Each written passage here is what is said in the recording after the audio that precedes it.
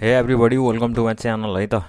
मैले प्रिभियस भिडियोमा चाहिँ के भन्छ सर्भिङ वानको क्वेसन दिइसकेको छु है त? यो भिडियोमा पनि मैले अर्को के भन्छ सर्भिङ वानको क्वेसन लिएर आएको छु टु थाउजन्ड सिक्सटी नाइन असाडमा सोधेको क्वेसन लिएर आएको छु है त? यो चाहिँ अगाडिमा मैले राखिदिएको चाहिँ सिलेबस हो है त? अगाडि प्रिभियस भिडियोमा चाहिँ पनि मैले राखिदिएको छु है त? यो भिडियोमा पनि मैले राखिदिएको छु है त? ठिक छ? त्यसै गरी यहाँ त च्याप्टर वानबाट इन्ट्रोडक्सनबाट चार मार्क्स आउँछ त्यसरी च्याप्टर टू भनेको डिस्टेन्स मेजरमेन्टबाट बाह्र मार्क्स आउँछ त्यसरी च्याप्टर थ्री भनेको चेन सर्वेबाट चाहिँ चार मार्क्स आउँछ। त्यसै गरी च्याप्टर फोर भनेको द कम्पासबाट चाहिँ सोह्र मार्क्स आउँछ। त्यसै गरी च्याप्टर फोर भनेपछि लेबलिङबाट चाहिँ सोह्र मार्क्स आउँछ। त्यसरी च्याप्टर सिक्स भनेको प्लेन टेबल सर्वेबाट चाहिँ चार मार्क्स आउँछ। त्यसरी ट्रान्जिट एन्ड थ्योलाइटबाट चाहिँ दस मार्क्स आउँछ। त्यसरी च्याप्टर एट भनेको ट्राङ्गुलेसन ट्राई ट्राइलेट्रेसनबाट छ मार्क्स हो त्यसरी competition of area and volume chapter नाइनबाट चाहिँ आठ मार्क्स आउँछ। है त?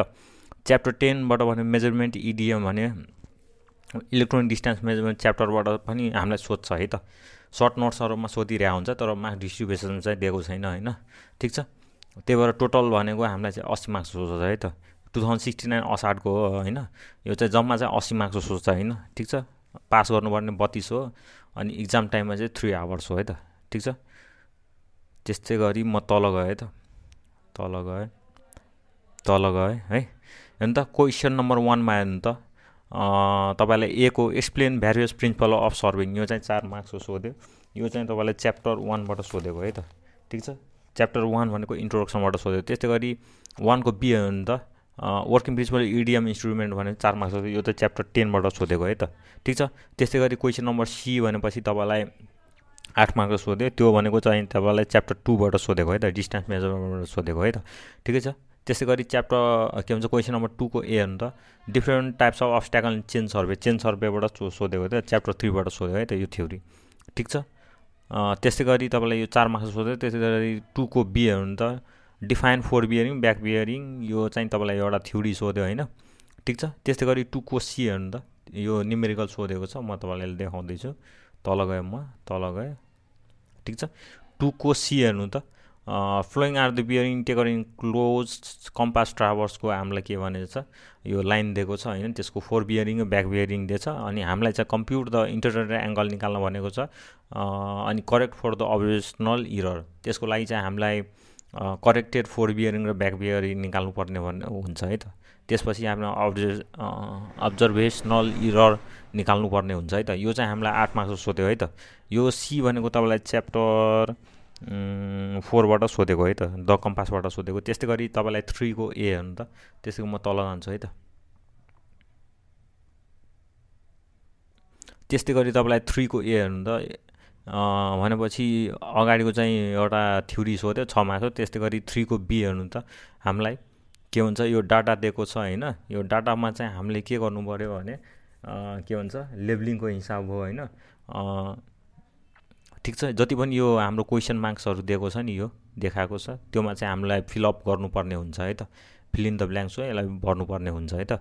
ठिक छ? यहाँ त fill fill all the missing data of the labelling field book भनेको छ है त? ठिक छ? त्यो चाहिँ गर्नु होला। यो चाहिँ तपाईँलाई दस मार्क्सको सोध्यो। यो चाहिँ थ्रीको बी भनेको तपाईँलाई च्याप्टर फाइभबाट सोधेको है त? लेबलिङबाट सोधेको। त्यस्तै गरी फोरको ए हो नि त। Method of plane table survey भने चाहिँ चार मार्क्सको सोध्यो। यो चाहिँ तपाईँलाई के भन्छ? च्याप्टर सिक्सबाट सोधेको है त? प्लेन टेबल सर्वेबाट सोधेको है त? त्यस्तै गरी म तल जान्छु। ठिक छ? फोरको ए भनेको तपाईँलाई थ्योरी सोध्यो त्यो प्लेन टेबल सर्वेबाट छ त्यस्तै गरी फोरको बी हेर्नु त तपाईँलाई यो निमेरिकल सोधेको छ होइन यो बाह्र मार्क्स सोध्यो यो चाहिँ तपाईँलाई also calculate the missing data vertical circle reading भनेको छ है त। ठिक छ? यो चाहिँ तपाईँलाई के भन्छ यो हिसाब चाहिँ तपाईँलाई के भन्छ च्याप्टर सेभेनबाट सोधेको है त ट्रान्जिट एन्ड थ्योरोलाइबाट सोधेको है त। ठिक छ? त्यस्तै गरी म तल जान्छु। क्वेसन नम्बर फाइभ हेर्नु त। क्वेसन नम्बर फाइभको ए भनेको डिस्कस अब ट्राङ्गुलेसन ट्राइलेट्रेसन भनेपछि छ मार्क्स सोधेँ। यो चाहिँ तपाईँलाई च्याप्टर एटबाट सोधेको है त। ठिक छ?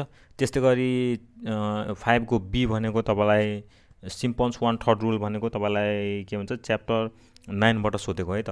त्यसै गरी फाइभको सी हेर्नु त। यो हाम्रो यो हाम्रो चेनेज दिएको छ अफसेट दिएको छ होइन? भनेपछि एरिया फाइन्ड गर्न भनेपछि area enclose by the chain line होइन। The first and last offset भनेपछि बाउ and the boundary by simples simps Simpson's होइन वान थर्ड रुलले निकाल्न भनेको छ होइन। यो चाहिँ च्याप्टर नाइनबाट हो है त कम्पिटिसन अफ एरिया एन्ड भोल्युमबाट हो। त्यस्तै गरी फाइभको डी भनेको डिफाइन म्याग्नेटिक डिक्लाइनेसन यो चाहिँ टु मार्क्सको थ्योरी सोध्यो है त। ठिक छ? आजको लागि चाहिँ यति नै होइन। यदि तपाईँलाई मेरो भिडियो मन पऱ्यो भने मेरो भिडियोलाई लाइक गरिदिनु होला र तलमा एउटा सानो कमेन्ट छोडिदिनु होला है त। अहिलेसम्म तपाईँले मेरो च्यानललाई सब्सक्राइब गर्नुभएको छैन मेरो च्यानललाई सब्सक्राइब गरिदिनु होला। Thanks for watching and hope to meet you on the next video